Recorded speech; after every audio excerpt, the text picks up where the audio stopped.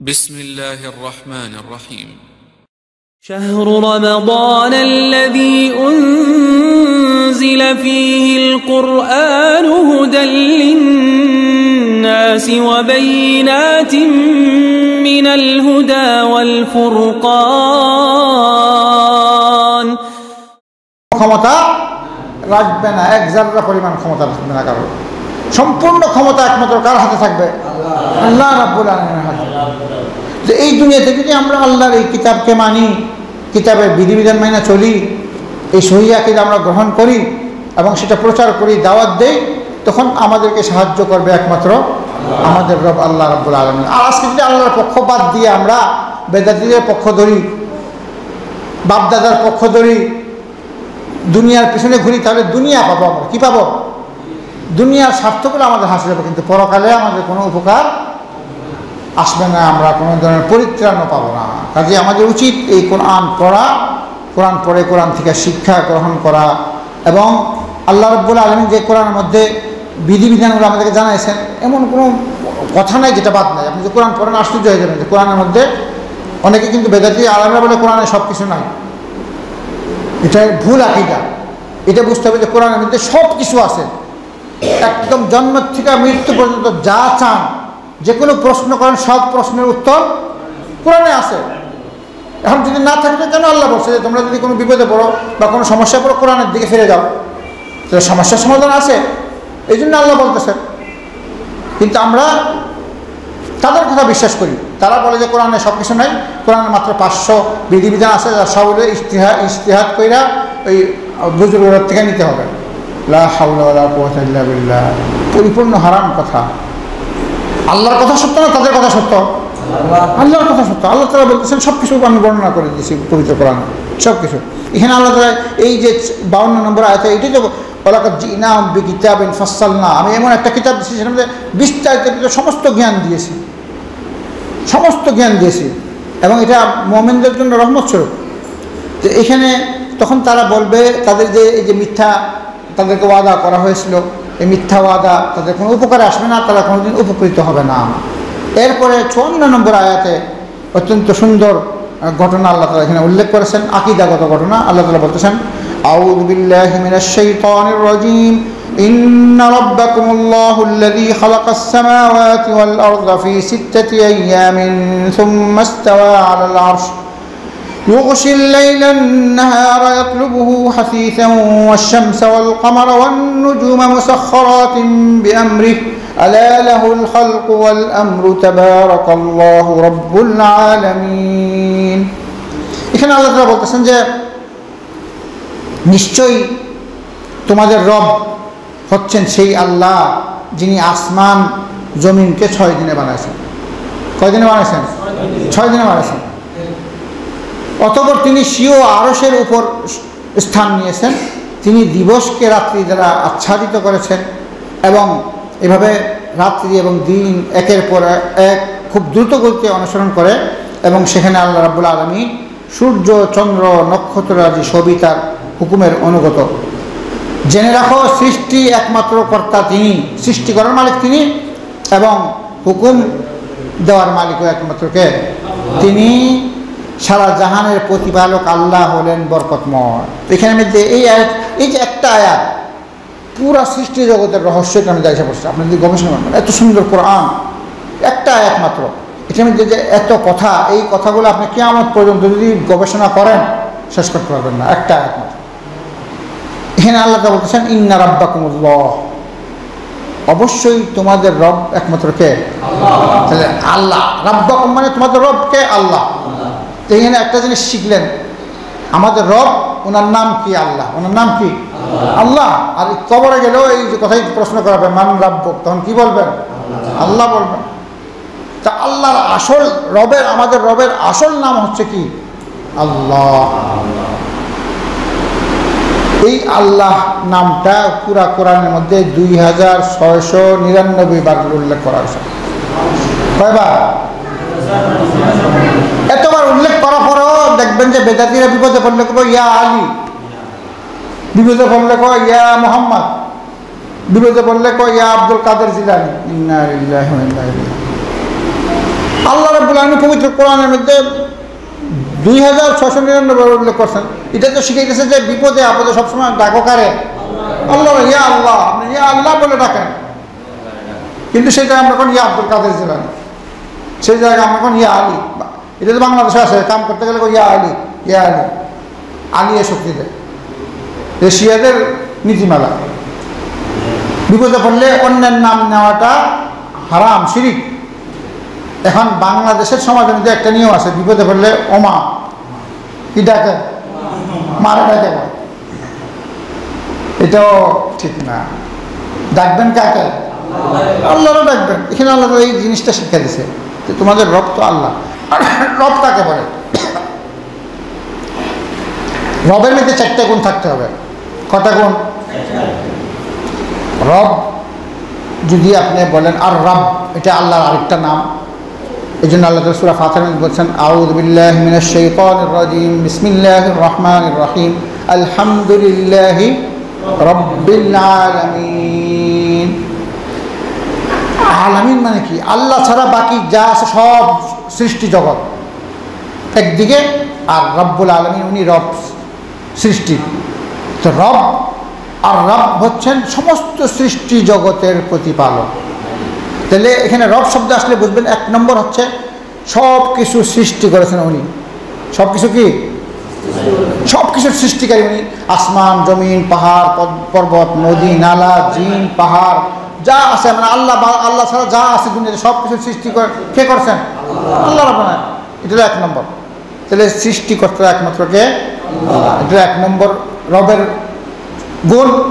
দুই নম্বর গুণ হচ্ছে সব কিছুর মালিকও তিনি আবার। সব কিছুর মালিক কে? আসমানের মালিক কে? জমিনের মালিক? আমাদের মালিক? সব। এটা দুই নম্বর। তিন নম্বর হচ্ছে আল্লাহ রব্বুল আলমিন সব কিছুর আবার সালাম। সব কিছুর কী করেন এই জন্য এখানে আল্লাহ তাআলা বলছে, চন্দ্র, সূর্য আল্লাহর আদেশে পরিচালিত। এই লক্ষ লক্ষ বছর ধরে সূর্যটা কোনোদিন আল্লাহ অমান্য করে না। কি করে না? প্রতিদিন নির্দিষ্ট সময়ে সে পূর্ব দিকে উদয় হয়, আর নির্দিষ্ট সময় সে পশ্চিম দিকে ডুবে যায়। চান্দ্রাও নির্দিষ্ট সময়ের মধ্যে উদয় হচ্ছে। একটা নির্দিষ্ট, এই যে ডেট নিয়ে, এটা দুই দিনের চান তিন দিনের চান চার দিনের চান পাঁচ দিনের দেখবেন প্রত্যেকটা মাপ আছে। আরব দেশের যারা গ্রাম্য লোকরা, তারা চাঁদ দেখেই বলতে পারে তারিখ। চাঁদ দেখে বলে দেবে যে আজকে তেরো তারিখ, আজকে চোদ্দ তারিখ, আজকে উনত্রিশ তারিখ। এত বুদ্ধি আছে তাদের। এই চাঁদটা, এটা ক্যালেন্ডার দিছে আলাদা। চাঁদটা তো কিন্তু ক্যালেন্ডারের লেগে দিছে কিন্তু এখন আমরা তো তো রেডিমেড ক্যালেন্ডার পাই, আসল ক্যালেন্ডারের কোনো খবর নাই। তো চান্দ্রা দেওয়া হয়েছে প্রত্যেক দিনের ক্যালেন্ডার করার জন্য। আর সূর্য দিছে আল্লাহ বয়স, এই যে বৎসরটা দেখার জন্য। বৎসর। তো এখানে আল্লাহ তারা বলতেছেন যে, আমরা কটা গুণ বললাম রবের? এক নম্বর হচ্ছে সমস্ত কিছু আল্লাহ তারা সৃষ্টি করছেন। আল্লাহ খালিকু কুল্লি সেই সব কিছু আল্লাহ সৃষ্টি করছেন। দুই নম্বর সব কিছুর মালিককে আলহামদুলিল্লাহ রব্বিল আলামিন। সমস্ত সৃষ্টি জগতের মালিক এখানে সৃষ্টি জগতের কথা বললে বাংলাদেশে দেখবেন যে প্রচলিত কথা আছে, সবাই বলে যে আঠারো হাজার মখলুকাত আল্লাহ সৃষ্টি করছে কত? এটা পরিপূর্ণ ঠাড়া মিথ্যা কথা। মখলুকাত কোটি কোটি, কোনো হিসাব নাই। আঠারো হাজার তো ছোট্ট নগণ্য জিনিস। সমুদ্রের ভিতরে ঢুকে দেখেন যে কয় হাজার আপনি বই না শেষ করতে পারবেন। একটা খেজুরের কথা বলি মদিনার মধ্যে যে খেজুর আছে, যে খেজুর খেজুর তো চিনেন? মদিনার মধ্যে এক হাজার প্রকারের খেজুর খেজুর আছে। শুধু মদিনার মধ্যে। প্রত্যেকটার নামও আছে। কি নাম? এক হাজার নাম আপনি মুখস্থ করতে হবে যদি খেজুর জানতেছেন তো শুধু খেজুরে যদি এক হাজার এখানে আঠারো হাজারের তো এখানে সতেরো হাজার হয়ে যায়। শুধু খেজুর এটা তো খালি মদিনার খেজুর। ইরাকে খেজুর আছে। ইরাকে, সেখানে কত প্রকার আছে? মদিনার বাইরে বিভিন্ন এলাকার মধ্যে খেজুর আছে, প্রত্যেকটা এলাকার মধ্যে আলাদা আলাদা খেজুর পাওয়া যায়। যেমন একটা একটা আপনাদেরকে দৃষ্টান্ত দিই, মদিনার মধ্যে একটা নাম করা খেজুর আছে, সেটাকে বলে রোসান রোসান খেজুর। আরেকটা আছে, হাদিসে আছে, এটার নাকি এটাকে বলে আজুয়া খেজুর নামটা কি? আজুয়া তো এই হাজুয়ার কথা উল্লেখ আছে যে যে ব্যক্তি মদিনার আজুয়া খেজুর খালি পেটে সাতটা খাবে, চব্বিশ ঘণ্টা পর্যন্ত তার মধ্যে কোনো জাদুর আসিল করবে, জাদু লাগবে না। জাদুটা না, লাগবে না এবং বিষ খাইলেও বিষক্রিয়া করবে না। কাজ করবে না। তো এই আজুয়া খেজুরটা অনেক দাম। সবাই হাজিরা গেলে এটা কিনতে চায়। পঞ্চাশ রিয়াল, ষাট রিয়াল, একশো রিয়াল কিলো, এক কিলো। তাহলে একশো রিয়াল কিলো এলে দুই হাজার টাকা, কত? দুই হাজার টাকা। তো মখলুকা, আপনি গণনা করে, আঠারো হাজার তো এটা নগণ্য জিনিস। পোকামাকড় আপনি যদি হিসাব করেন, পোকামাকড়, আমি যে পিঁপড়ারই দেখছি একদম ছোট্ট গুড়ি গুড়ি একটা পিঁপড়া আছে, আবার একটু বড় পিঁপড়া আছে, আবার আরেকটু বড় পিঁপড়া আছে, আরেকটা মাথা বড়ওয়ালা পিঁপড়া আছে। পিঁপড়া দামে গণ্য কত প্রকারের পিঁপড়া। শেষ করা যাবে? তাহলে আপনি বুঝতে হবে যে আল্লাহ ছাড়া বাকি যা আছে সবই আল্লাহর সৃষ্টি। সবই কি? এই সংখ্যা আল্লাহ ছাড়া কেউ জানে না। আপনি সংখ্যা যে কোশ্চেন আল্লাহ যদি বলে থাকে বলেন। কিন্তু আল্লাহ যে জিনিসের সংখ্যা নির্ধারণ করেন কেন আপনি বলেন আঠারো হাজার? এই জিনিসটা কি? মানুষের বানাতো আল্লাহ রাব্বুল আলমী সব কিছুর সৃষ্টিকর্তা। আল্লাহ রাব্বুল আলম সব কিছুর মালিক। আল্লাহ রাব্বুল আলম সব কিছু কী করে? পরিচালনা করেন। চার নম্বরে আসেন। চার নম্বর হচ্ছে আল্লাহ রাব্বুল আলমিন সব সৃষ্টি জগতের সবাই রিজিকের মালিক। কিসের মালিক? এটা এমন একটা সূক্ষ্ম ক্ষমতা, এটা আল্লাহ কাউকে দেন নাই। এটা আল্লাহ তালা কাউকেও এটাকে কেন্দ্র করে দেখবেন যে এই দেশে একটা ওয়াজ আছে, সবাই ওয়াজ করে। বলে যে সুলাইমান আলাম নাকি একদিন চিন্তা করছে যে সবাই দাওয়াত খাওয়াইব। শুনছেন কি না? হ্যাঁ? উনি নাকি আল্লাহ বলছে যে আল্লাহ আমি সবাই দাওয়াত খাওয়াইতেছে। তো আল্লাহ তালা বলছে এটা তো রিজিকের মালিক, তো আমি, এটা তুমি পারবা না। না, পারো। তো সুলাইমান আসলাম বলছে, আল্লাহ আল্লাহ, আল্লাহর গুণটা নিতে চাইব। ঠাডা মিথ্যা কথা। তারপরে বলে যে, তাহলে কী করতে হবে? তো সুলাইমান আসলাম বলছে যে, আপনি, আমি খালি খানা ফাঁকাইতে থাকুন, আর এগুলো যেন নষ্ট না হয়। নষ্ট?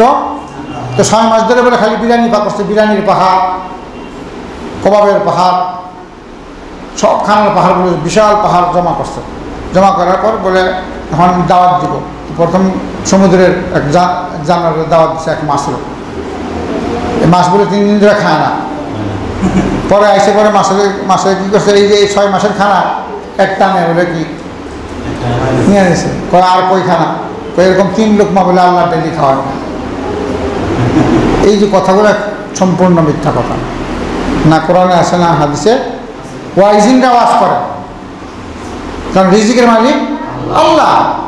আল্লাহ রবুল আলমীর একটা সমুদ্রের মধ্যে একটা মাছ আছে সে চাকরিও করে না তার বেতনও নাই কিন্তু টন লক্ষ লক্ষ মানে হাজার হাজার টন খানা খায় খায় কিনা আল্লাহ খাওয়া এই রিজিকের দায়িত্ব আল্লাহ রাব্বুল আলামিন নিয়েছেন। আউযু আউযু বিল্লাহি মিনাশ শাইতানির রাজিম। ওয়া মা দাব্বাতিন ইল্লা আলাল্লাহি রিজকুহা। আল্লাহ বলতেছে যে পৃথিবীতে বিচরণকারী এমন কোনো প্রাণী নেই যার রিজিকের ভার কে নিছে? তার রিজিকের ভার আল্লাহ হাতে। পিঁপড়াকে আল্লাহ তালা খানা খাওয়া, পাখিদেরকে আল্লাহ তালা খানা খাওয়া, জঙ্গলে জন্তুদেরকে আল্লাহ খাওয়া, মানুষদেরকে আল্লাহ তালা খানা আর মানুষদেরকে আল্লাহ শোনাই দিচ্ছে যে তোমাদেরকে আমি ইবাদত করার জন্য সৃষ্টি করেছি আর রিজিকের ভয় করে না, রিজিক আমি দেই। রিজিক? কিন্তু উল্টা কাম, আমরা হলো উল্টা ডরা গেছি যে আমরা ইবাদত সেরা রিজিকের পিছিয়ে ঘুরি। এই জন্য আল্লাহ তাআলা আমাদেরকে অভাবে ফেলাইছে। রিজিকের মালিক একমাত্র কে? আল্লাহ। হাদিসে আছে যদি উমর থেকে বর্ণিত, রসম বসেন যদি মানুষ যদি আল্লাহর উপর তাওয়াক্কল করতো, তো আল্লাহ তালা মানুষকে এমনভাবে খাওয়াইতেন যেভাবে পাখিদেরকে আল্লাহ খাওয়ান। পাখিরা সকালবেলা নিজের বাড়ির থেকে খালি পেটে বাইরে আর সন্ধ্যার সময় ভরা পেটে আসে। তাহলে এই চারটা জিনিস মনে রাখবেন। রব আসলে যিনি সৃষ্টি করেন সব কিছু যিনি সব কিছুর মালিক, যিনি কি করেন? তিন নম্বর কি বলছি সব কিছু পরিচালনা করেন সব কিছু সূর্য চালাচ্ছেন চন্দ্রকে চালাইতেছে সারা বিশ্বের সব কিছু সিস্টেমে নিয়মের মধ্যে কোনো দেখবেন যে কোনো গণ্ডগোল নাই। শীতের পর গ্রীষ্ম আসতেছে, গ্রীষ্মের গ্রীষ্মের পর শীত আসতেছে। কাঁঠাল গাছে কাঁঠাল ধরে, কাঁঠাল গাছে তো আম ধরে না। হ্যাঁ? কাঁঠাল গাছে আম ধরতে তত বিপদ রইল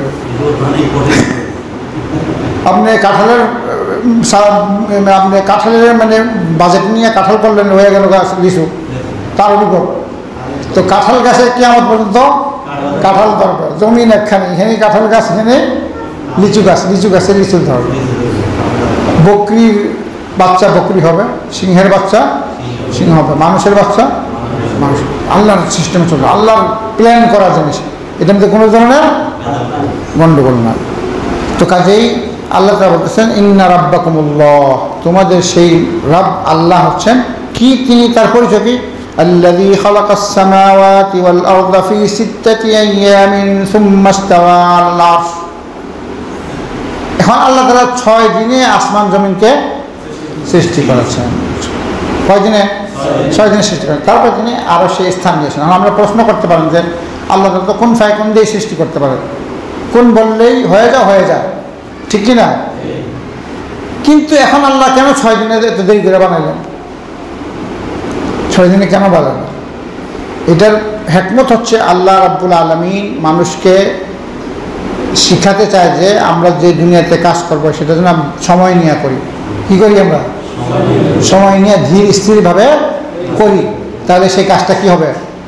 মজবুত হবে। আমাদের আল্লাহ তালা সবই পারে, আল্লাহ সব কিছু করে।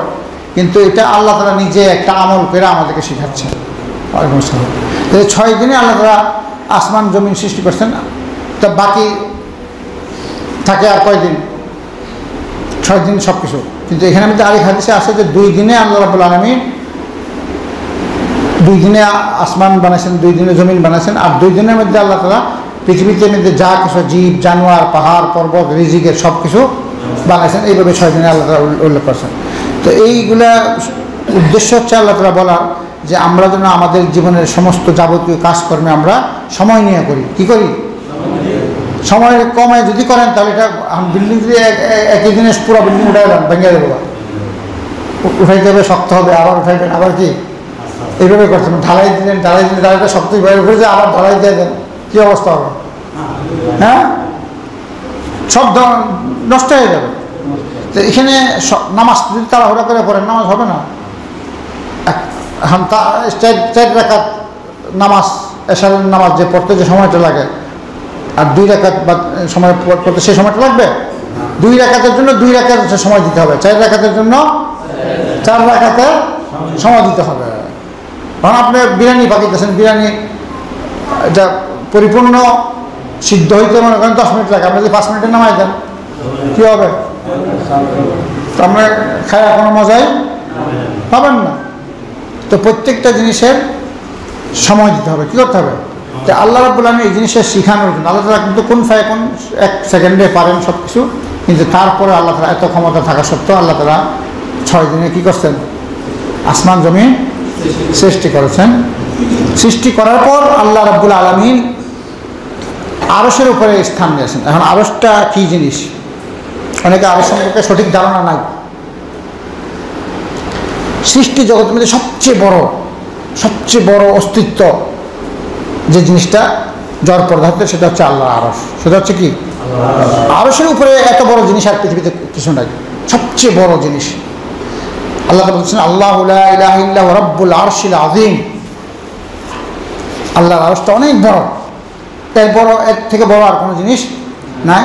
এই আরসটা হচ্ছে হাদিসে আছে যে, এই পৃথিবীর থেকে প্রথম আকাশে পৌঁছতে পাঁচশো বছর লাগবে। প্রথম আকাশটা এত মোটা যে, এটা সেট করে বাড়িতে পাঁচশো বছর লাগবে। প্রথম আকাশ থেকে দ্বিতীয় আকাশে পৌঁছতে আরও লাগবে পাঁচশো বছর। এইভাবে সাতটা আকাশের পুরুত্ব, সাতটা আকাশের ফাঁকা জায়গা এবং সাতটা আকাশের উপরে আবার ফাঁকা জায়গা, খালি পাঁচশো বছরের এরপরে সমুদ্র। সমুদ্রের গভীরতাও পাঁচশো বছরের তারপরে আল্লাহ আরস সেখানে আল্লাহ আছেন কোথায় আছেন আল্লাহ? এখানে সহি আকিদা যারা গ্রহণ করেছে, কোরআন, হাদিস অনুযায়ী তাহলে আপনার, আমার আকিদা হবে আল্লাহ সবখানে নাই। আল্লাহ কোথায় আছেন? আরসের উপরে আছেন। আল্লাহ আরসের উপরে। কিন্তু সেখান থেকে তিনি আমাদেরকে দেখতেছেন। আমাদের সম্পর্কে উনি জ্ঞান রাখেন। ওনার আয়ত্তে আছি এবং আমাদের কথা উনি কি? শুনতেছেন। সব কিছু শুনেন। সব কিছু দেখেন এবং ওনার জ্ঞানের মধ্যে আমরা আসি এবং ওনার ক্ষমতার ভিতরে আমরা আসি কিন্তু আল্লাহ রাব্বুল আলমিন উপরে আসেন, কোথায় আসেন? উপরে আসেন, এই জিনিসটা আমাদের ইমান রাখতে হবে। যারা নাকি এই জিনিস রাখবে রাখবে না, তাদের ইমান না। কারণ আল্লাহ তালা বলছেন এটা। যদি আল্লাহ অন্য কেউ বলতো, তাহলে এই জিনিসটা আমরা মনে করতাম যে ভুল। কিন্তু সহি হাদিস এবং কোরআনের মধ্যে আল্লাহ রাবুল আলমিন এই সাতটা জায়গায় উল্লেখ করছেন। সাত জায়গায়, এক জায়গা না, কয় জায়গা সাতটা জায়গায় আল্লাহ তাআলা উল্লেখ করছেন যে আল্লাহ কোথায় আছেন? আরসের উপরে আছেন। আরসের উপরে। এখানে আল্লাহ বলতেছেন ছয় দিনে সৃষ্টি করেছেন। অতঃপর তিনি স্বীয় আরসের উপর স্থান নিয়েছেন। তিনি দিবসকে রাত্রি দ্বারা আচ্ছাদিত করেন। এই দিনটাকে রাত্র এসে কী করে? ঢেকে ফেলে। আবার সকালবেলা ভোর হয়। আর এই দিনের পর রাত্রটা খুব দ্রুত গতিতে আসতেছে। দেখবেন যে খুব দ্রুত গতিতে রাত্র আসতেছে, রাত্রের পর দিন আসতেছে, দিনের পর রাত্র। এইভাবে এই সময়টা চলে যাচ্ছে। বাকি তিন মিনিট আসে আজানে। ইনশাআল্লাহ আজানের সময় হলে বলবেন তারপর আল্লাহ রাব্বুল আলামিন বলতেছেন যে ওয়াশাম সওয়াল কামার ওয়ান নুজুমা মুসাখখারাতিন বিআমরিহি। এই যে সৌর জগতের মধ্যে আমরা সূর্য দেখি, দিনে রাত্রে, এবং চন্দ্র দেখি, দিনে রাত্রে, সূর্য দেখি, দিনে। এই যে সূর্য এবং চন্দ্র তার নিজস্ব স্থানে তারা চলতেছে। এটা কার আদেশে? আল্লাহ আদেশে। সূর্য চাঁদকে ধরতে পারবে না, চাঁদ ও সূর্যকে ধরতে পারবে না। আল্লাহর আদেশ নাই আল্লাহ লাশাম সুয়াম বাগিলাহা আন তুদরিকাল কামার ওয়ালাল্লাইলু সাবিকুন নাহার। দিন আগে রাত্রে আসতে পারবে না, কারণ রাত্রে আগে যেভাবে নিয়ম করা হয়েছে, সেভাবে আসতেছে। এরপর আল্লাহ তালা বলতেছেন এইটা কেন? আল্লাহুল খালক ওয়াল আমর। কারণ যিনি সৃষ্টি করেন তিনি আদেশ করবেন। তার আদেশ নিষেধ চলবে। আল্লাহ রব্বুল আলমীর সব কিছু সৃষ্টি করেন মালিকও আল্লাহ পরিচালনা আল্লাহ করতেছে এবং আল্লাহ রব্বুল আলমীর রিজিক দিচ্ছেন তো আদেশ কার চলবে? আর নিষেধ কার চলবে? তাহলে হালাল করার মালিক আল্লাহ হারাম করার মালিকও আল্লাহ। এখানে আমাদের কোনো হাত নাই। কিন্তু দেখবেন যে দুনিয়াতে এখন অনেক মানুষ যারা নাকি হালালকে হারাম বানায় আর হারামকে কি করে? হারাম বানায়। এটা অনেক বড় কবিরা গুণা আল্লাহ রব্বুল আলমিন আল্লাহর ইচ্ছা। আল্লাহ রব্বুল আলমিন নেশাগ্রস্ত জিনিসকে কী করছেন? হারাম করছেন। আল্লাহ রব্বুল আলমিন দুধকে হালাল করছেন দুধ। দুধের অনেক উপকারী। পৃথিবীতে মানুষ যখন জন্ম হয় তখনই আল্লাহ তাকে দুধ খাওয়ানোর ব্যবস্থা করছে এবং সেখানে সব সকল ধরনের ভিটামিন দিয়ে দিয়েছেন। এখন বৃদ্ধ হইলেও আল্লাহ তারা গরু ছাগল এগুলো দুধের ব্যবস্থা করছেন। সবাই দুধ খাচ্ছে। দুধটা অত্যন্ত প্রিয় এবং পুষ্টিকর খাবার। পানা পান করে মানুষ সব দিক দিয়ে মানুষের আহ, স্বাস্থ্যের স্বাস্থ্য ভালো করে। তো এই যে খাবার আল্লাহ তালা খাওয়ান কে খাওয়ান? তাহলে আল্লাহ তালা ধরুন আল্লাহর আল্লাহর পৃথিবীতে আমি আছি আল্লাহ তালা আল্লাহ তালা আমার মালিক আল্লাহর খাবার খাই আল্লাহর জগতে থাকি তারপরে আমি আদেশ আরেকজনে মানব।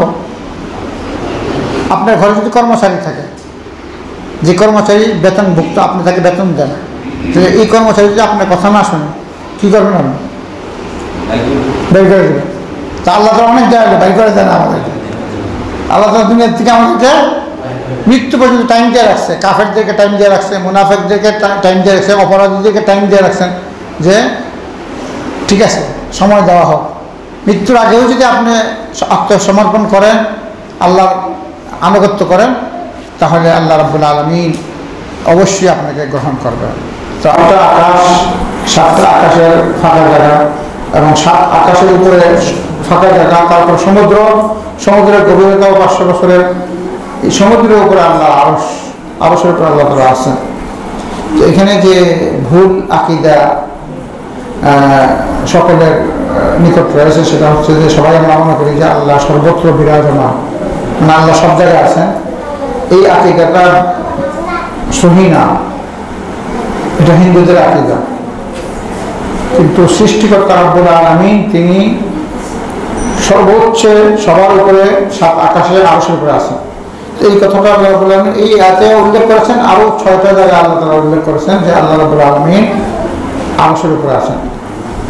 এক হাদিসে, মুসলিমের এক হাদিসে উল্লেখ করা হয়েছে যে একজন সাহাবি, তার একজন দাসী ছিল।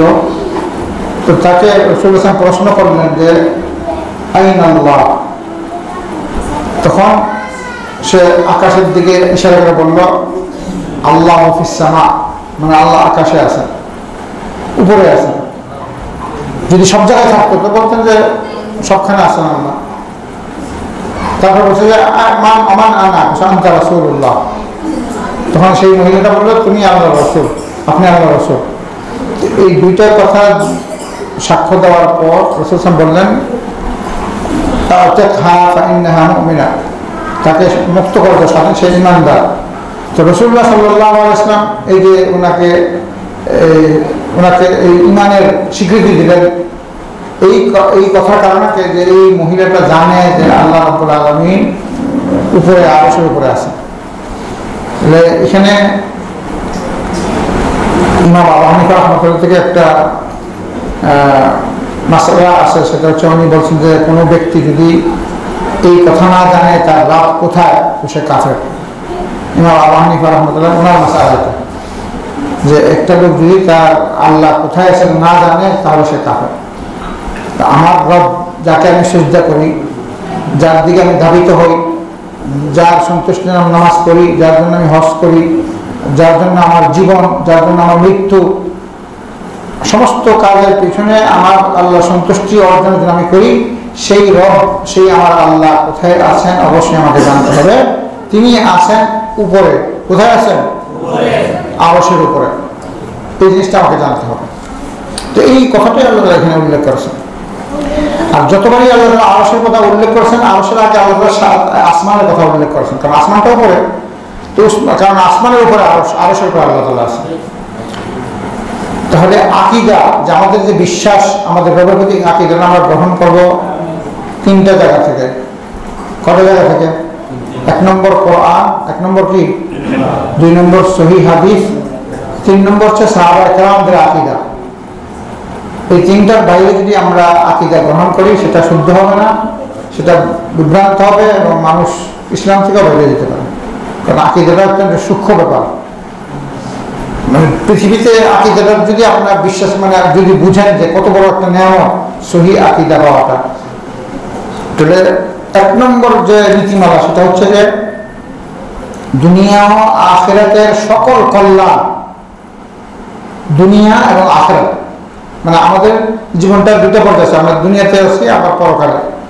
দুনিয়া ও আখেরাতের মাঝে যে বারজাখ জগৎ আছে, সেটার কথা আপনি আনতে পারেন। অর্থাৎ তিনটা জগৎ, পৃথিবীর জগৎ বারজাখ জগৎ, পরকালের জগৎ।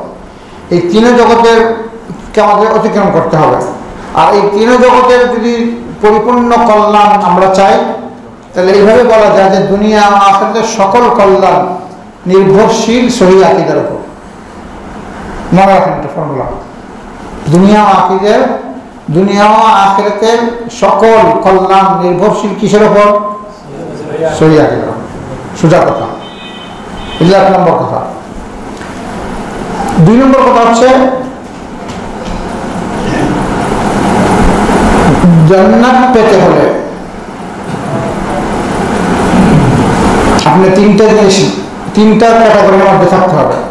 কটা ক্যাটাগরি এক নম্বর মুসলমান, দুই নম্বর মোমেন, তিন নম্বর মুত্তাকি মুসলমান, মোমেন মুত্তাকি আর এই তিনটা জিনিস আপনি হইতে পারবেন না। এই তিনটা জিনিস নির্ভর করে সহি আকিদার উপর কিসের উপর? সহি আকিদা থাকলে আপনি মুসলমান। আল ইসলাম আন্ত সদাল্লাহ ইলাহা ইল্লাল্লাহ। আল ইমান আন্ত মিনাবিল্লাহ তাহলে আপনি মুসলমান হতে হলে আপনার সহি আকিদার অন্তর্ভুক্ত হতে হবে। মোমেন হতে হলে আপনার সহি আকিদার অন্তর্ভুক্ত হবে হতে হবে। আর মুত্তাকিন হতে হলো কি? সহি আকিদার তিনটা ক্যাটাগরি দুই নম্বর।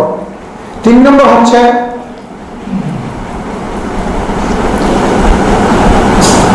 জান্নাতি কারা?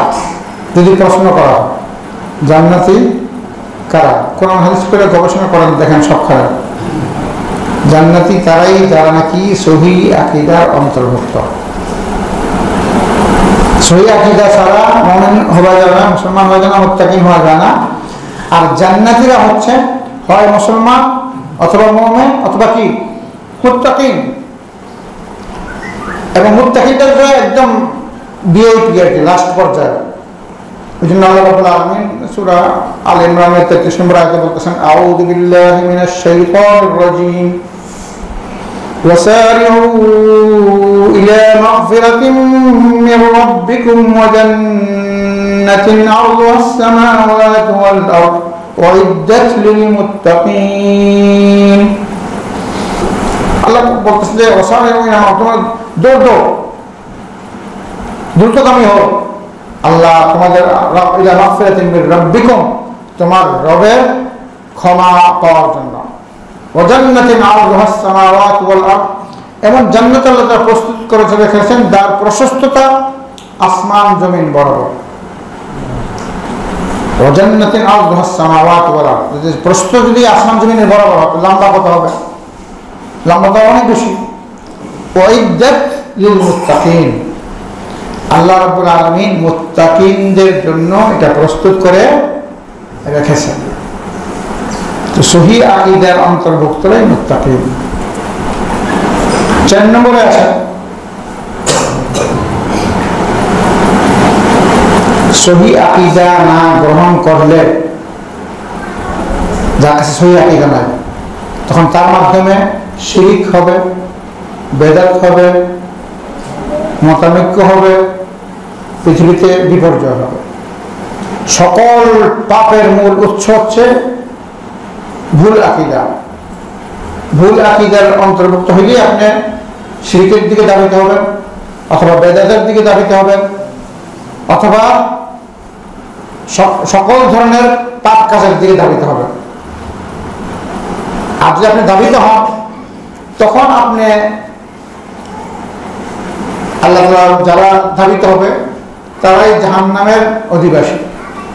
আর জাহান নামের অধিবাসীরাও তিন ক্যাটাগরি। তারা কয় ক্যাটাগরি তারাও তিন ক্যাটাগরি এক নম্বর, তারা কাফের। দুই নম্বর, তারা মুশরেক। তিন নম্বর, তারা মুনাফিক। তিন নম্বর, তারা কি? মুনাফিক। কাফের, সহি আকিদা। ইসলামকে বিশ্বাস করে না, দিনের কোনো কিছু বিশ্বাস করে না মানে না নামাজ মানে না নবী মানে রসুল মানে দিনের যে কাফের। দুই নম্বর এখন মুশরেক মানে কিন্তু আল্লাহর সাথে শিরিক করে। কি করে? আল্লাহর সাথে? আল্লাহকেও সুবিধা দেয় মাদারও সুবিধা দেয়। আল্লাহর কাছেও বিপদে চায়, আর অন্য অলির কাছেও বিপদে গিয়ে চায়। সিন্নিতে মাদারে গিয়ে আংটি লাগা কোমরে কালা সুতা লাগা হাতের মধ্যে অনেক তাবিজ লাগা আবার আল্লাহরও বিশ্বাস করে। তো কি করতেছে? অংশীদার? তো মুশরিক তারও আকিদা সহি না। তিন নম্বরে আসেন মুনাফেক। মুনাফেক যারা, তারা হচ্ছে ইসলামকে বাইরে বাহ্যিক দিক দিয়ে ইসলামের দেখা যায়, ইসলাম। আর অন্তরে তাদের কি? কুফরি সিরিকি সব কিছু আছে। তো তাদেরকে আল্লাহ রবুল্লা আলমী সবচেয়ে জাহান্নামের নিম্ন মানের শাস্তি দেবেন। আল্লাহ রবুল পবিত্র কোরআনে সুরা নিসার একশো পাঁচচল্লিশ নম্বর আয়াতে যেমন মুক্তাকিনগুলো সবচেয়ে হাই ফাই বিআইপি জান বিআইপি বসবাসকারী আর জাহান্নামের বিআইপি বসবাসকারী হচ্ছে কি মুনাফিক তারা কি মুনাফিক একটা জাহান্নামের একটা লাস্ট أعوذ بالله من الشيطان الرجيم إن المنافقين في الدرك الأسفل من النار ولن تجد لهم نصيرا الله بقصد যে মুনাফিক যারা في الدرك الأسفل من النار জাহান্নামের একটা কি লাস্ট স্তরে তারা থাকবে এবং তাদেরকে কোন ধরনের সহযোগিতা সাহায্যকারী তারা পাবে না তো কাজে একটা আয়াত এই সুরা আল আরাফের চুয়ান্ন নম্বর আয়াত এই আয়াতটা যদি আপনারা মনোযোগ দিয়ে গবেষণা করি তাহলে আমার আকিদাকে সহি করার জন্য একটা আয়াত যথেষ্ট একটা এই আয়াতের মধ্যে আল্লাহ রাব্বুল আলামিন তৌহিদুল উলুহিয়া তৌহিদুল রুবুবিয়া তৌহিদুল আসমাই ওয়াস সিফাত স- সকল ধরনের তৌহিদের কথা উল্লেখ করেছে যে আল্লাহ একক দ্বিতীয় আল্লাহ রিজিকদাতা, আল্লাহ সৃষ্টিকর্তা, আল্লাহ তালা আদেশ দাতা, আল্লাহর আদেশ চলবে, আল্লাহর হুকুম চলবে, আল্লাহ কোথায় আছেন সেটাও আল্লাহ বলে গেছে এদিকে খেয়াল করেন, আপনারা খেয়াল করেন, এদিকে খেয়াল করে শুনে কথা এখন আমরা জানলাম যে বিশাল এই জগৎ, আকাশ জগৎ। আকাশ জগৎটা হচ্ছে ফেরিস্তাদের বাসস্থান। আর জমিনটা হচ্ছে মানুষ এবং জিনের বাসস্থান। আকাশটা হলো সাতটা স্তর পর্যায়ক্রমে, জমিনটাও কিন্তু সাতটা স্তর পর্যায়ক্রমে। জমিনটা হচ্ছে নিচের জগৎ, আর আকাশ হচ্ছে ঊর্ধ্ব জগৎ। ঊর্ধ্ব জগতে যারা বসবাস করে, তাদেরকে বলা হয় মালাইকা। তাদের কি বলা হয়? তারা হচ্ছে নূরের তৈরি।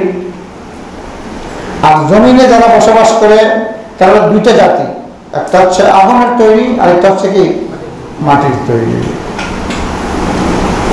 এখানে রসুল্লাহ সাল্লাহ আলী ওসাল্লাম তিনিও মানুষ, নবী এবং তিনি মাটির তৈরি। এখন এই আয়াত নিয়ে যারা গবেষণা করবে, তারা রসুলকে বলবে তিনি মাটির তৈরি।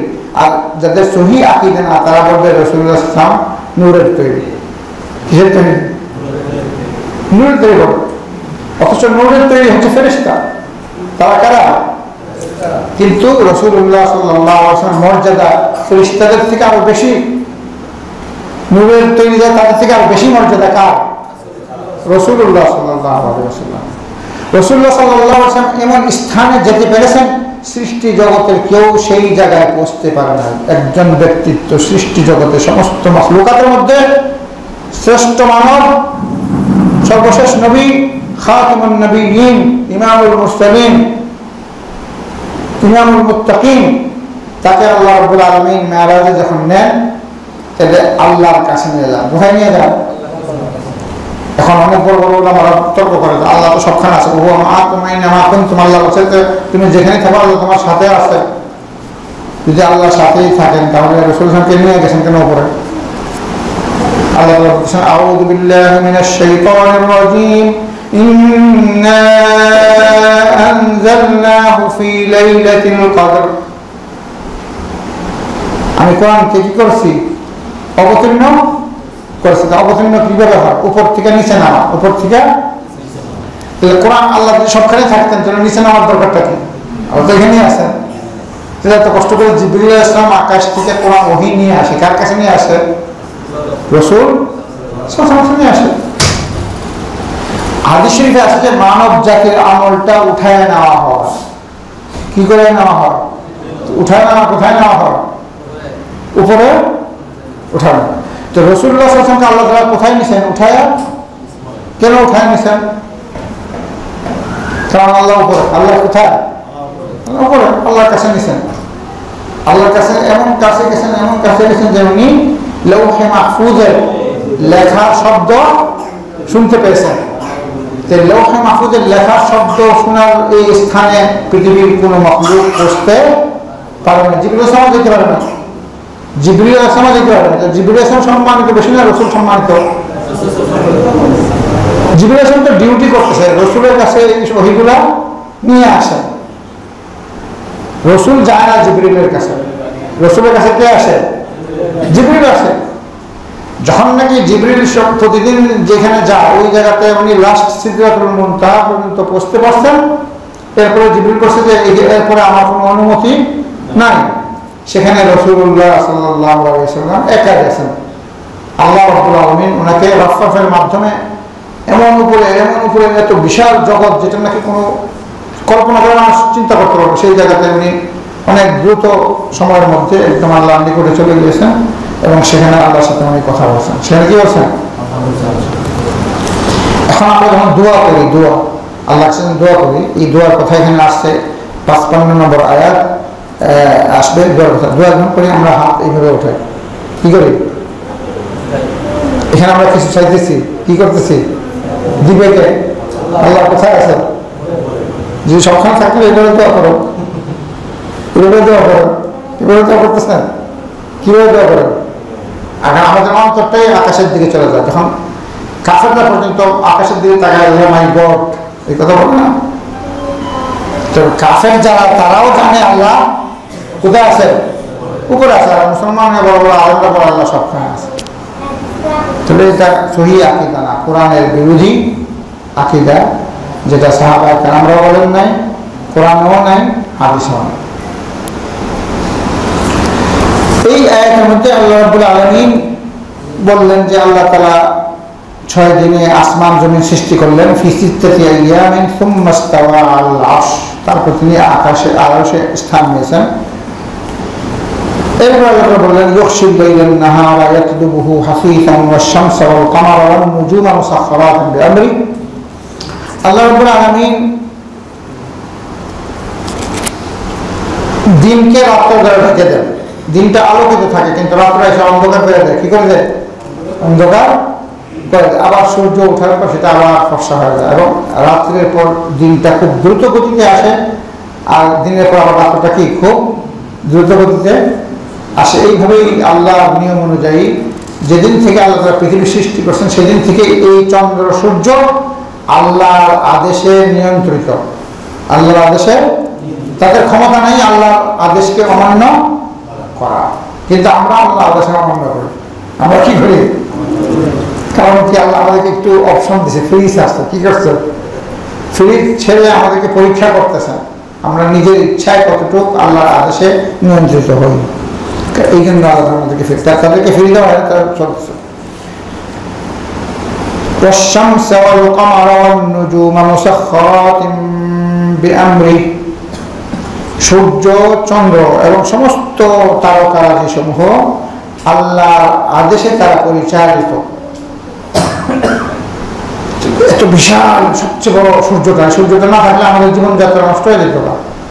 সূর্য দেওয়ার মাধ্যমে দিন আসে, সেখানে আমরা কর্মজীবন, ব্যস্ততা রিজিক অর্জন করে আমরা কষ্ট করি। চাষিরা চাষাবাদ করে, যারা কর্ম করে, তারা দিনে চলে যায়। প্রত্যেকে তার কর্মক্ষেত্রে গিয়ে তার দিন আসলে সে কি করে? কাজ করে। এই সূর্যের মাধ্যমে এই যে ফসলাদি হচ্ছে, সূর্যের মাধ্যমে বৃষ্টি হচ্ছে, কারণ সূর্যের তাপের মাধ্যমে সমুদ্রের পানিগুলা কি হয়? বাষ্প হয়ে আকাশে উঠে। তারপর সেগুলো হয়? বা- বৃষ্টি বর্ষণ হয়। তার মাধ্যমে আবার ফসলাদি হয়। সেখানে চাউল বলেন, গম বলেন শাক সবজি বলেন, সবই আল্লাহ যদি আপনি গবেষণা করেন কেমন পর্যন্ত শেষ করতে পারবেন না। এই একটা আয়াত। আমাদের জীবনযাত্রার সাথে সম্পৃক্ত জিনিস যেটা নাকি একদম উৎপল্লিত আমরা দেখি সারাদিন। সূর্যকে আমরা সারাদিন দেখতেছি। দেখতেছি না? চন্দ্রকে আমরা সারাদিন দেখতেছি।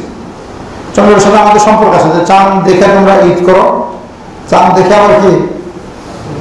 রোজা ভাঙবো রোজা রাখো। ঠিক তো এখানে একটা আমার দিনের সাথে সম্পর্ক। চাঁদ দেখার পর, নতুন চাঁদ দেখার পর পর সঙ্গে সঙ্গে একটা দোয়া করতে হয়। আপনারা আমার দোয়া করছেন নাকি তা কোনোদিন প্রথম চাঁদ উঠলে একটা চাঁদ দেখার দোয়া আছে। চাঁদ দেখার কি? দোয়া আছে। আল্লাহুম্মা আহিল্লাহু আলাইনা বিল আমনি রাসূলুল্লাহ দোয়া চাঁদ বলেন, আল্লাহ এই চাঁদ চাঁদের মাধ্যমে এই মাসটা আমাদের জন্য নিরাপত্তা শান্তি দান করো বরকত দান করো। মাসটা আমরা ভালোভাবে চলতে পারি। চাঁদকে বলে রব্বি ও রব্বকুল্লাহ। রব্বি ও রব্বকুল্লাহ। আমার রব আল্লাহ তোমার রব কি? আল্লাহ। তুমি আল্লাহ আদেশে চলছো।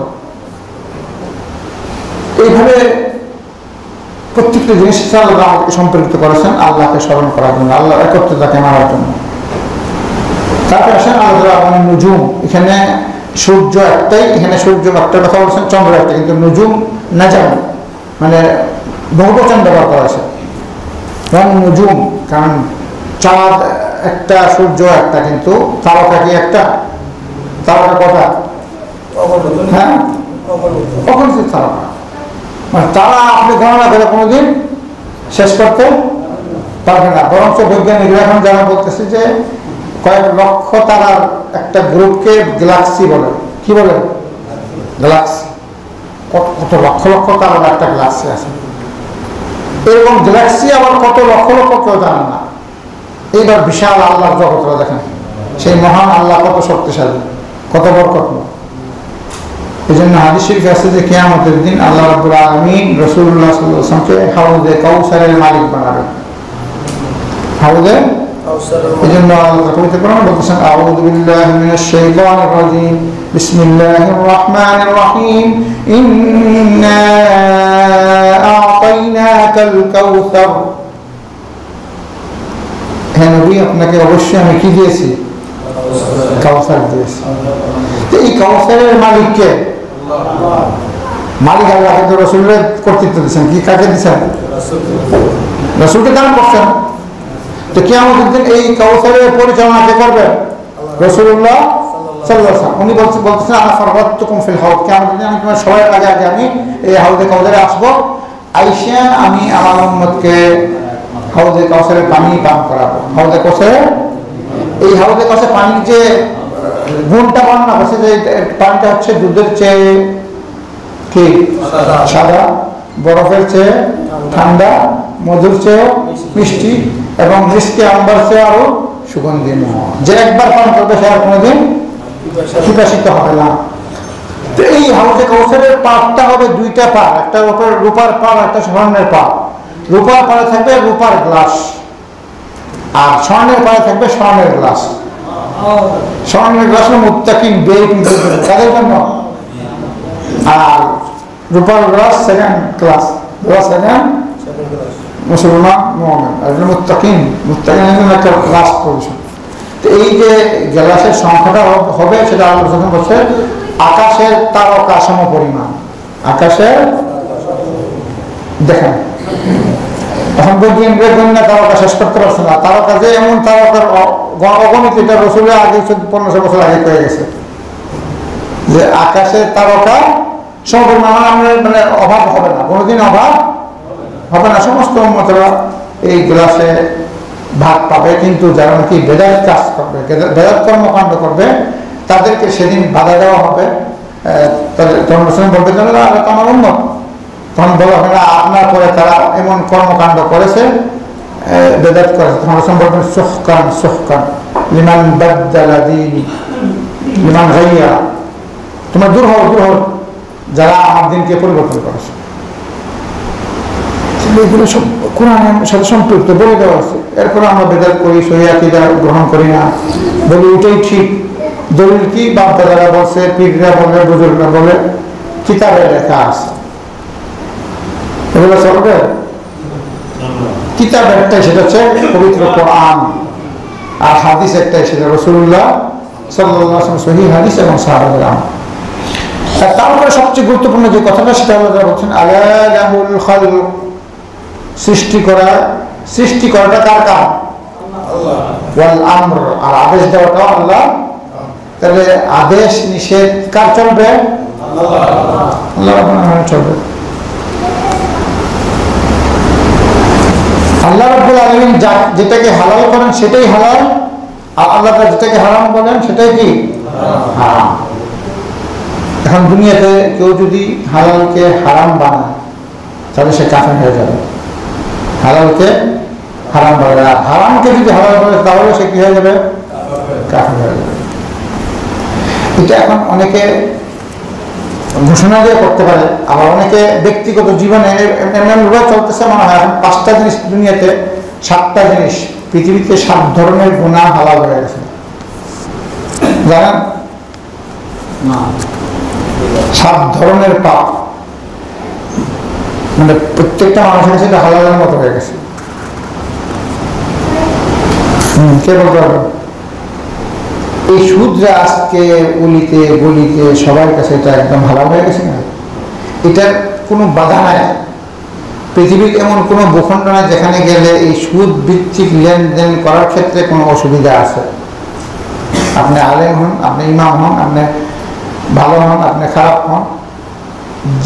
মুসলমান দেশ হোক, কাফের দেশ হোক, যে কোনো জায়গায় আপনি সুদ ভিত্তিক লেনদেন করতে পারবেন। ব্যক্তিগত পর্যায়ে কোনো বাধা নাই। পারিবারিক পর্যায়ে কোনো বাধা নাই। সামাজিক পর্যায়ে কোনো বাধা নাই। প্রশাসনের পক্ষ থেকে কোনো বাধা নাই। আন্তর্জাতিক ক্ষেত্রে কোনো বাধা নাই। কোনো বাধা কোনো আইন নাই। কেউ আপনার ধরবো না। আপনি যদি অনেক বড় আলেম হন, অনেক বড় বিশাল বড় আলেম, আর যে কোনোখানে গেলে সুদের লেনদেন করেন, মানা করব কেউ কেউ মানা করবে না। কিন্তু ঘুষ খেলে বাধা আছে। ঘুষ খেলে কি? ঘুষ কিন্তু হারাম। ঘুষ কিন্তু আবার চুপে চুপে ঘুষ খায় অনেকে। আবার এটা সরকারি আইন আছে, ধরে ফেলে। আবার ঘোষণা দেওয়া হয়, অপমানও করা যায়। অমুককে অমুক অফিসার ঘুষ খাইছে, ধরা পড়ছে। হয় কি না? ঘুষ খাওয়ার এটা একটা আইনগত বাধা আছে। একটা কি আছে? কিন্তু সুদ খাওয়ার ক্ষেত্রে আইনগত কোনো বাধা নাই। আপনি বেশ দেখান, আমি কেমন কোনো চ্যালেঞ্জ দিয়ে দেখান। কোথায় কোথায় আইন আছে? সরকার তো আসলে ওষুধ দেয় এই তো এইটা হালাল বানাইছে কিনা এখন? এটা এই ঘটনাটা মানুষে কি করছে? হালাল বানা এটা একটা এক নম্বর। দুই নম্বর হচ্ছে আদেশ চলবে আল্লাহ নিষেধ চলবে। তাহলে এই আদেশ নিষেধরা আসে কোরআনের মাধ্যমে অথবা হাদিসের মাধ্যমে অথবা সাহাবাদের আমলের দ্বারা? আপনি বুঝতে পারবেন।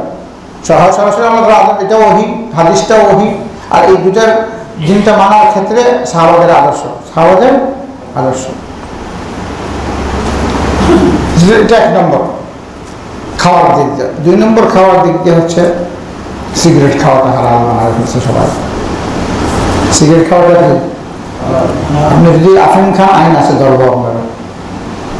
যদি আপনি গাঁজা খান ধরবো যত কিছু খাইবেন, নেশাওয়ালা সবগুলো কি? একটা সিগারেটের কোনো আইন নয় অথচ সবচেয়ে ক্ষতিকর জিনিসটা হচ্ছে কি? আফিম থেকে ওটা ক্ষতিকর। কিন্তু এটার কোনো বাধা নাই। এটা লেখা আছে যে সাবধান এটার থেকে ক্ষতিকর জিনিস কিন্তু বিক্রি হইতেছে, সবাই খাইতেছে। সবাই খাচ্ছে। এমনকি মক্কা মদিনার ভিতরে কিছুদিন আগে, মক্কা মদিনার ভিতরেও বেচা কেনা হইতেছে। মক্কা শহরে বেচা কেনা হইতেছে। মদিনার শহরেও কি বেচা কেনা হচ্ছে? একজন নামাজ পড়তেছে পাঁচক্ত নামাজ, এখানে কপালের দাগ সজ্জার দাগ। প্রত্যেক দিন এদের ছয়, সাতটা সিগারেট শেষ শেষ করে। নামাজ যখন মসজিদে আসে, বন্ধে, কি, দাঁড়ানো যায় না। খেলতেছে।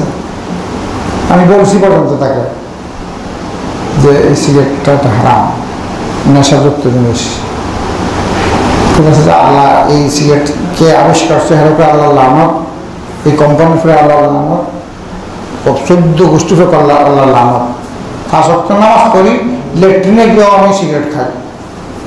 আর কি খান এই অবস্থা। স্বীকার করতেছে সব ছাড়তে পারেনি তো ছাড়তে সত্যিকার ভয় থাকতো, যদি আইন থাকতো, তাহলে ছাড়তাম এখন যে আইন লাগে সিগারেট খাইলে দুশো ডলার জরিমানা, তখন কিন্তু আর খাইলে না। তাহলে এই দুই নম্বর, এটাও কি হয়ে গেছে? পৃথিবীতে কি?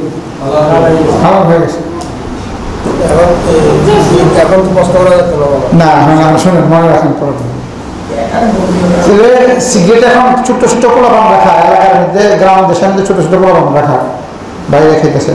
ছোট ক্যাটাগরির মানুষ খাইতেছে, যুবনরা, যুব- যুব- যুবক যুবকরা, মহিলারা, পুরুষরা, বয়সরা, সবাই খাইতেছে। এমনকি আমি বাংলাদেশে দেখছি যে ওই যে বেঙ্গলে গেছে ওখানে প্রোগ্রামে ওখানে দেখি যে এই যে সিগারেটের কারখানা আছে, ওদের চাষ করে এগুলো। হ্যাঁ না ওগুলো তো যায় এগুলো। ব্যবসা বাণিজ্য করতেছে পুরা।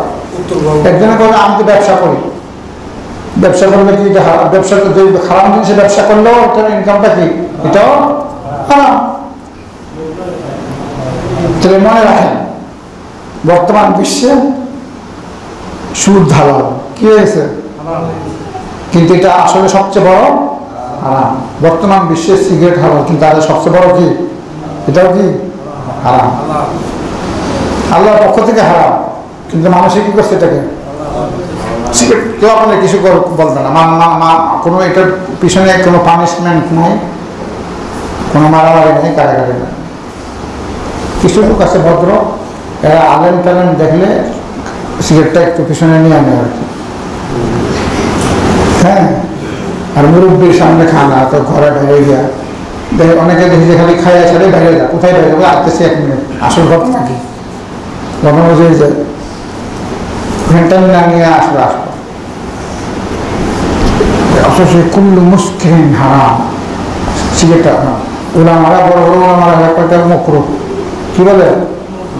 কিন্তু পবিত্র কোরআনে সূরা আল আরাফের একশো সাতান্ন নম্বর আয়াত একশো সাতানব্বই নম্বর আয়াত আউযু বিল্লাহি মিনাশ শাইতানির রাজিম ويحل لهم الطيبات ويحرم عليهم الخبائث আল্লাহ বলছে আল্লাহ রাব্বুল আলামিন সমস্ত খারাপ ক্ষতিকর জিনিস আল্লাহ রাব্বুল আলামিন হারাম করেছেন আর কল্যাণকর জিনিস আল্লাহ কি করছেন হালাল ওই হেল্লুর রহমত তৈবাদ যত উপকারী, উপকার জিনিস যেগুলা খাবার খেলে মানুষ উপকার হয়, এটা আল্লাহ হালাল করছেন।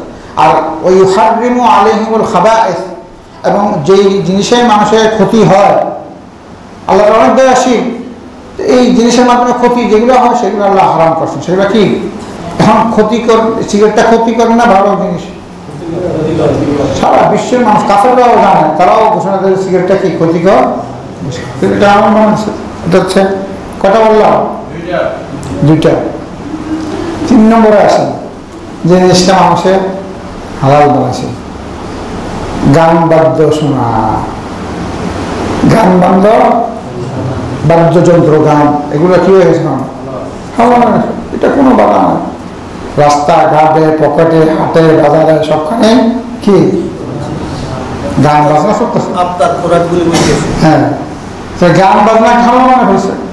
তো গান বাজনা সবচেয়ে কঠিন এটার জন্য আল্লাহ কঠিন শাস্তি দিবেন সুরা লোকমান ছয় নম্বর আয়াতে আল্লাহ তাআলা বলতেছেন আউযু বিল্লাহি মিনাশ শাইতানির রাজীম ومن الناس من يشتري لهو الحديث ليضل عن سبيل الله بغير علم ويتخذها هزوا أولئك لهم عذاب مهين এদেরকে আল্লাহ তাআলা কঠিন শাস্তি দিবেন এবারে কি করবেন আল্লাহ তাআলা তাহলে কি বিষয় বলতেছ? এখন কোনটা বললাম? বাদ্যযন্ত্র। গান, বাদ্যযন্ত্রটা এখন এমন হালত হচ্ছে যে, এমন অনেক বিভিন্ন উচ্চ সমাজের মধ্যে শিক্ষিত, সুশীল সমাজের মধ্যে এটা অনেক বড় একটা আর্ট অনেক বড় কি? আর্ট সমস্ত ছেলে মেয়েদেরকে তারা গান শিখায়। নাচ গান কি? শিখায় বান্ধব শিখায় এবং তাদেরকে বলা হয় তারকা কি সমাজের তারা তারকা প্রতিযোগিতা হচ্ছে। সবাই গর্ব করে যে "এই, আমার মেয়েটা অনেক ভালো গান গাইতে পারে। আবার মাও বলে যে মাও গায়ক মেয়েও গায়ক নাতিও প্রতি পুরা গোষ্ঠী গায়ক গর্ব করে। এই যে এই কোরআনের সবচেয়ে বড় দুশ্মন হচ্ছে গান। যখন নাকি পনেরোশো বছর আগে যখন নাকি এই কোরআন নাজিম হয় মক্কাতে তখন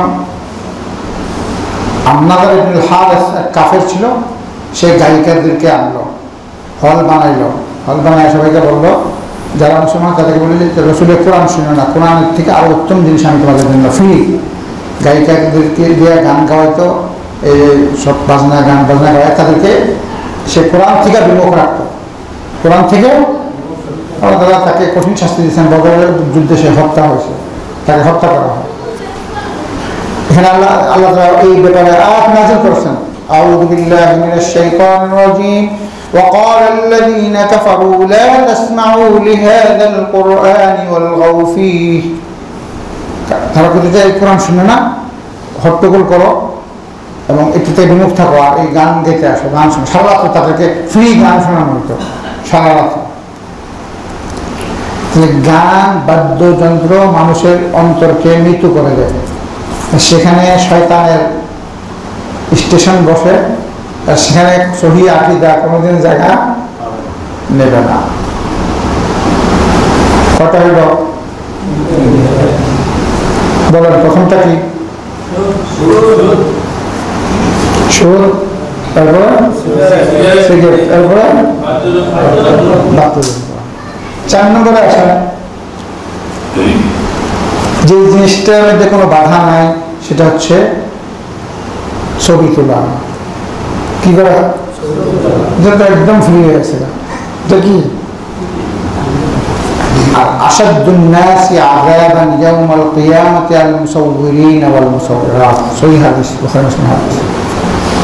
সবচেয়ে কঠিন শাস্তি হবে যারা ফটো তোলে, ছবি তুলে, ছবি তোলায়।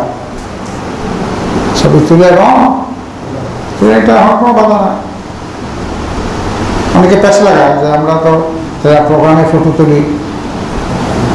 এখন আমার বলছে যে অনেকে বলছে যে ক্যামেরার ফটোটা একটা জায়েজ, আর অঙ্কন করে যে ফটো তোলা একটা জায়েজ নাই। এটা মধ্যে অনেক ধরনের ইখতলাফ আছে।